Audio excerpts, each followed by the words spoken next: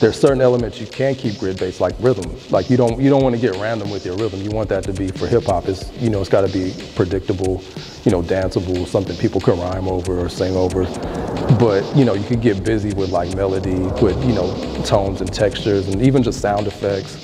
And um, of course, what, what we love in hip hop, drums and bass. And I started to see that the the key, the benefit to modular was not uh, necessarily having just one system, but all the options that were out there. So I was like, man, I'm gonna just, I'm gonna bite the bullet and buy a case and just start building myself. And so that's what I did. So with me doing music now and finding this mod bap and just to grow this Modbap world and develop these friendships around this, I feel like this is like high art because there's intelligence to it. Some people are like, yo, I'm not with that. Five years later, we living in the future.